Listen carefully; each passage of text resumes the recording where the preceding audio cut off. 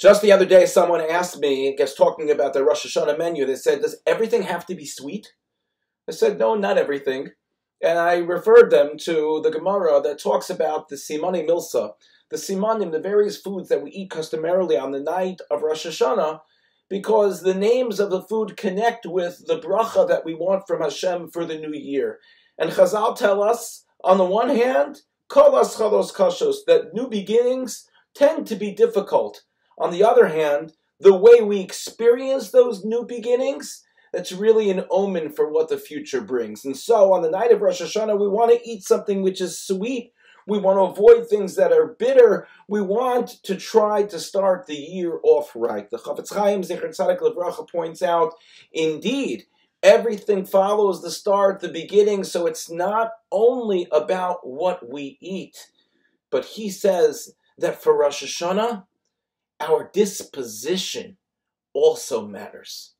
Because if we have a disposition which is one that is negative or angry, we worry that that negativity or that anger could last into the coming year. But if we have an attitude which is positive, which is constructive, which is hopeful, then that attitude could end up lasting, hopefully, into the coming year. So while we pay attention to the food that we eat, says the Chafetz Chaim, we can't leave out one of the most important facets of our wishes for the new year by virtue of how our face appears, of how we speak to those who are in our home, of how we approach our neighbors, the people we sit next to in shul. If we have a smile on our face on Rosh Hashanah, then in Mir Hashem, with Hashem's help, we'll end up having a smile on our face throughout the year. And even though there are moments, of course, which are ups and which are downs, but nevertheless, if we look back to how we were on Rosh Hashanah, then we just go back to the beginning, we go back to the start.